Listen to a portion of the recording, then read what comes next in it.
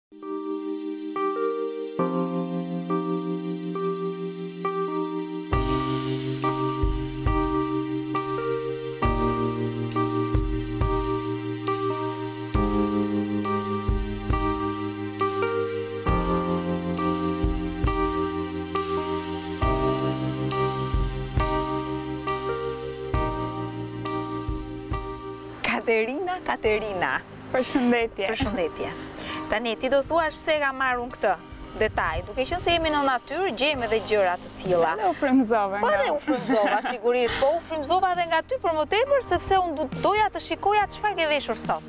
Ti gjithmonë na surprizon, është një detaj që bën diferencën në të gjithë fustanin që ke veshur sot, Si erdhi kjo ide? Puplat janë trendi i sezonit. Radhën e kaluar ne folëm për një trend tjetër që ka qënë ngjyra e kuqe, ndërkohë unë sot erdha me, me hapjen e dytë, janë puplat, ndoshta do të futim pak në puntatën e radhës edhe xhufkat, dhe prandaj, unë avash avash po i sjell të Ekspozuara tek vetja, të gjitha trendet e sezoneve. Sot ti këto detaje ke vendosur në fustanin tënd, por ne do të demonstrojmë diçka tjetër, po që ka lidhje me natyrën, me elemente të natyrës. Po. Në këtë rast gjethet. Gjethet jemi në vjeshtë dhe sigurisht gjethet i gjejmë kudo në sipërfaqet, në oborre, kudo, po Sigurisht kemi gjethe edhe këtu që ne mund t'i shfrytëzojmë për atë çka do bëjmë sot. Çfarë do bëjmë sot ne Krit, Katerina? Ne sot do të bëjmë një fustan, të cilin do ta stampojmë paraprakisht me gjethe. Do të jetë handmade. Handmade, domethënë tekstili handmade. Do të marrim disa gjethe këtu poshtë nga natyra, do i lyejmë me bojra dhe do të stampojmë në fillim copën, materialin dhe pastaj do të qepim një një fustan. Fustani do të jetë model i thjeshtë, besoj? Do të jetë një model i thjeshtë që të kuptohet nga të gjithë ata që na shohin, një model kovë, vjen kovë në fund, i gjatë dhe do të ketë edhe një rrudhë poshtë. Mirë, ne do ta ndjekim, do ta shikojmë sepse edhe kemi prezent absolutisht edhe modelen Tonina e cila na shoqëron përgjatë gjithë këtyre puntatave, është ajo e cila demonstron dhe veshjet në përfundim, kur mbaron i gjithë procesi i punës. Tani pa humbur kohë, unë do doja që të shikonim çfarë mrekullie do të dalin sot nga duart e tua. Faleminderit, në fillim do të presim fustanin, dhe pastaj do të fillojmë me bojrat. Kjo është portokalli e ndezur, ndezur? Mhm. është um, si tek nuancat e të kuqes, që që mbetemi po prapë me një trend aktual. Sikundër e kemi demonstruar edhe në puntatat e mëparshme, ne e kemi gati kallëpin të përftuar dhe presim copën sipas masës që neve kemi marrë. Kështu që të ndjekim deri në stampimin e copës. me elemente nga natyra, që në këtë rast janë gjethet. Ne mund të përdorim edhe këtë puplën meqenëse unë e gjeta dhe frymëzuar nga fustani. Patjetër. Atëherë, kjo është një pjesë e fustanit. Po. Ne njësoj do të veprojmë edhe me pjesën tjetër. Do i presim dhe do të fillojmë të vendosim gjethet në mënyrë që ato të lënë shenja dhe të jenë pak të sfumuara. Këtu është dhe e veçanta, sepse ne edhe mund t'i vizatonim vetë, mund t'i pikturonim, por është më bukur kur ato lënë gjurmë dhe sfumohen edhe me vetë materialin. Sepse edhe format janë nga më të ndryshme, por çfarë ngjyre do të zgjedhim për gjethet meqenëse kemi këtë ngjyrë të ndezur të copës? Do të kemi një ngjyrë jeshile, kam menduar, ashtu siç janë ende dhe... I shkon shumë në fakt. Shumica e gjetheve. Kështu që ne do bëhemi gati tashmë. Do ta hapim copën mbi sipërfaqen e punës, tavolinën e punës që kemi vendosur këtu. Ndërkohë që këto po mund t'i heqim. Okej. Këto janë ngjyra. Janë rezistente, Në material nuk është se do të prishen momentin që fustani do të lahet, sepse nuk është ideja vetëm të bëjmë diçka, ta demonstrojmë dhe mos na hyjë në punë. Ai do të jetë një fustan si gjithë të tjerët. Dhe kur të lahet, ajo nuk do të hiqet si ngjyrë. Që duhet të kemi kujdes edhe në këtë pjesë. Mirë, format e gjetheve i kemi zgjedhur të ndryshme. Por mund të kemi edhe elementë të tjerë që mund të marrim inspirim sikundër po bëjmë me gjethet. Po, patjetër. Kështu që funksionon si një stampim që mund të tamam si vulat.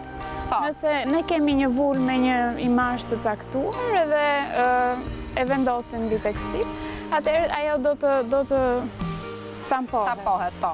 Do të përdorim disa doreza në mënyrë që të mos na lyhen edhe duart. I vendosim. Normalisht ka nevojë për një rëndesë në mënyrë që të shtypet edhe boja të kalojë në copë.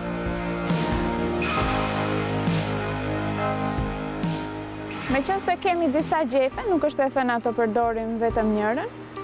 Është pak më e ndërlikuar kjo sikur ta vështirësova punën, por më duket një variant shumë interesant për të kombinuar me pjesën tjetër. Më pëlqen forma e kësaj gjetheje. Jemi në periudhën e vjeshtës, kemi mundësi që jo vetëm t'i këpusim gjethet, por edhe t'i gjejmë në tokë, kështu që e bëjmë shumë mirë këtë proces. Kaq interesant. Kjo është një teknikë interesante, sepse njerëzit gjithmonë e më shumë duan të bëjnë gjëra të personalizuara. Ato që kemi thënë që prej fillimit dhe që sigurisht krijojnë një tjetër përshtatje dhe me karakterin e njeriut. Gjethet për t'ju përshtatur edhe natyrës dhe për të falenderuar natyrën.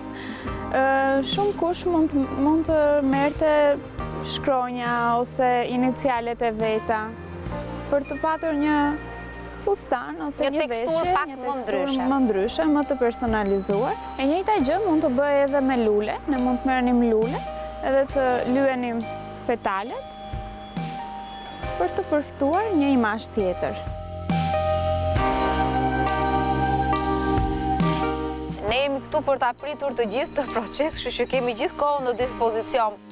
Kjo është një gjethe shumë e bukur, sepse siç thamë, ne na intereson dhe në vetëm interesante. Dhe pastaj, mund të shtojmë edhe pjesën e bishtit, duke qënë se është shumë e hollë dhe nuk mund ta lyejmë dot. Mund t'ia shtojmë vetë.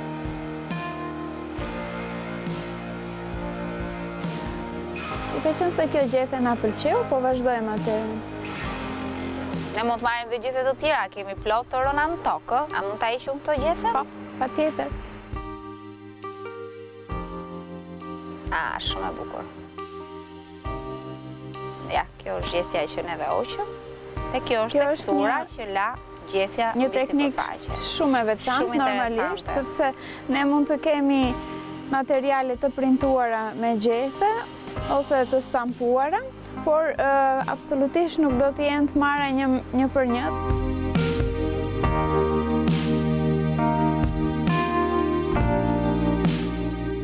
Shumë faleminderit. Ne mund t'i ripërdorim këto gjethe. Katerina, ne meqënëse e kemi gjethen kështu të lyer, a mund ta përdorim për të bërë një spilë interesante? duke i shtuar ndonjë element për ta ngrirë që mos na bëjë pis etj etj. Po, Çfarë mund të bëjmë me këto për shembull? Ne mund ta ruajmë një nga këto gjethet, besoj. Mund ta presim sa të thahet. Ajo do thahet. Si ide është shumë interesante. Meqënëse i kemi, edhe meqënëse theksova dhe më herët që gjatë procesit të punës, na lindin dhe ide të reja. Boll të kemi aftësi krijuese, për të ardhur në ndihmë të gjithëve atyre që duan të duken më ndryshe dhe më bukur. Apo jo, Katerin. Megjithëse, kam përshtypjen që janë tendenca të fundit edhe këto lloj stampime, shë, kështu që ne në një farë mënyre qëndrojmë edhe trend po. me sfilatat më të fundit. Kështu që jemi koherent edhe me atë që ka ndodhur. Jemi koherent, për shembul, ka shumë materiale të cilat janë tendencë, materialet Me limona të Dolce Gabbanës kanë qenë vjet me trëndafila, me gjethe, pa diskutim kanë qenë të Dolce Gabbanës. Në 2018 do të kemi tekstile që janë me letrat që ne luajmë, edhe janë shumë interesante. Me letrat e bixhozit.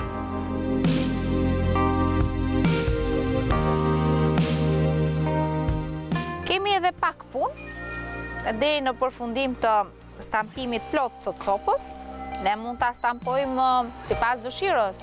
Mund t'i lëmë gjethet pak më të rralla nga njëra tjetra në distancë, ose mund t'i bëjmë të ngjitur ajo është siç ne i duam, gjithsesi. Mua më pëlqen në fakt t'i lëmë pak kështu në distancë me njëra tjetrën, duke qenë se edhe Ngjyra e kësaj cope është vërtet ngjyrë shumë e ndezur dhe shumë e bukur në fakt dhe kombinon shumë me këtë jeshile që ti ke zgjedhur dy nuanca të jeshiles në fakt. Në mënyrë që mund t'i ngjyenim edhe me ngjyra të tjera të verdhë, zejla, sepse ka gjethe. Të verdha tani që kanë rënë. Duket si një punë voluminoze, megjithatë fakti që kemi shumë gjethe në dispozicion, na jep dorë dhe e kemi punuar shumë shpejt. Tani do të presim të thahen, besoj se do të thahen shpejt, sepse po fryn dhe pak erë, që na vjen në ndihmë. Këto detajet e fundit, po. Urdhëroni, po jua lë juve.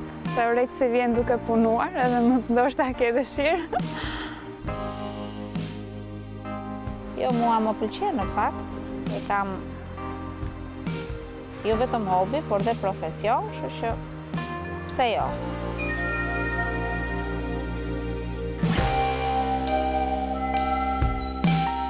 Në rregull? Besoj se është gati. është gati, tani do të fillojmë të qepim fustanin.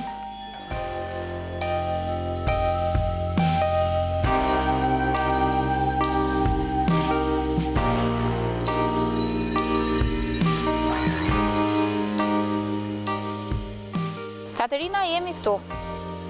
Në këtë çast, neve... Kemi të dyja pjesët e fustanit, do të vazhdojmë të qepim, gjithashtu kemi përgatitur edhe një rudhë të vogël, që do të jetë në fund fustanit, për t'i dhënë pak Më shumë lezet, të paktën ashtu e mendoj unë.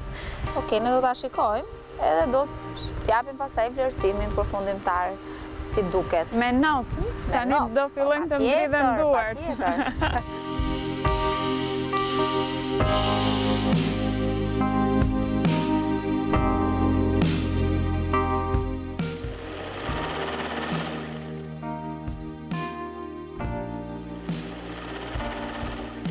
Kemi dhe anën tjetër për qepur. Po, do të merremi pak dhe me mostrat e jakës.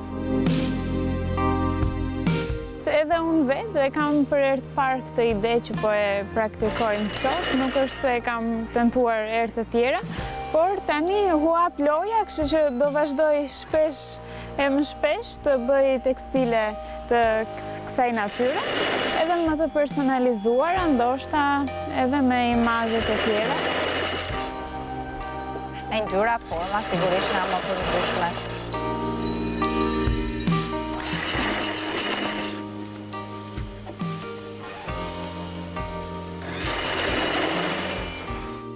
Kemi dhe pak punë, besoj, Katerina. Kemi dhe pak punë në pjesën live.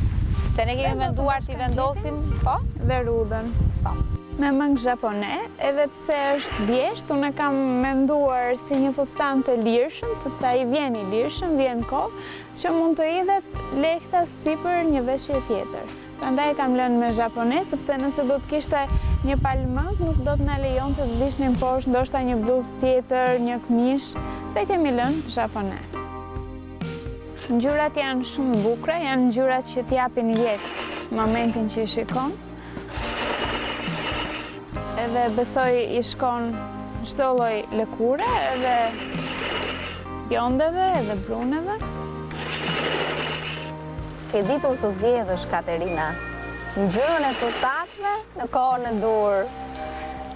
Por sigurisht edhe trendin për ta bërë veshjen sa më të veçantë. Për ne që krijojmë është shumë e domosdoshme të kesh atë syrin që kap momente, kap ngjyra, kap veshje, aksesorë.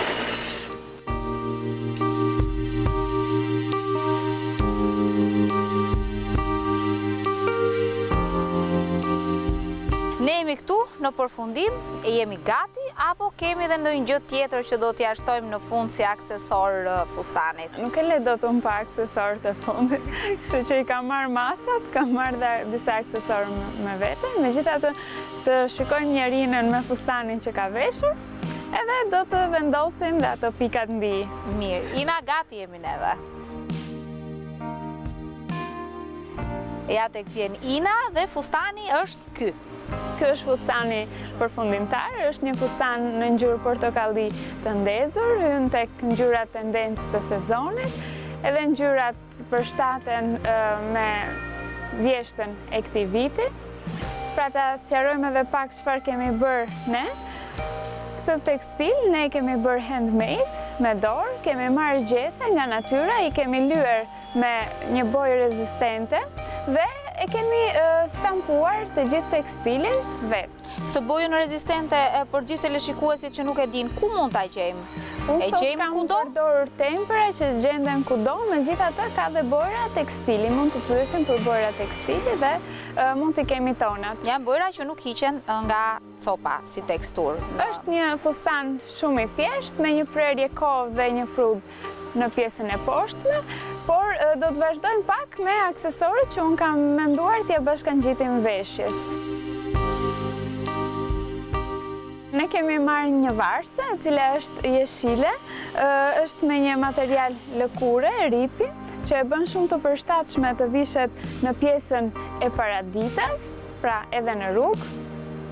Kështu që ne e vendosim dhe shikojmë. Dhe ngjyra jeshile Ngjan shumë mirë dhe sinkronizohet me dizajnin që ne aplikuam. Por ende nuk kemi mbaruar, sepse unë dua të them edhe një tendencë tjetër që kemi për këtë sezon, janë kapelet beretë. Ne kemi një të tillë, dhe jo vetëm beretë, por ka edhe këtë puplën, pra dy trende në një, Dhe do t'ia vendosim modeles sonë. Dhe kjo është edhe aksesori i fundit që kemi për sot. Dhe tashmë e kemi kompletuar të gjithë veshjen. Do doja të mbetej surprizë në fakt se çfarë ne do të sjellim herën tjetër. Gjithsesi, besoj do të jetë diçka në trend edhe për këtë sezon. Në fakt, as unë nuk e kam vendosur, sepse varet ku do e marr ngacmimin derisa të takohemi në puntatën e ardhshme, kështu që ju siguroj që do të jetë diçka interesante dhe që të gjithë ju ta kuptoni dhe ta realizoni edhe vetë, sepse në fund fundit ky është qëllimi, të bëjmë gjëra të thjeshta dhe jo fort të lodhshme, por të kemi një rezultat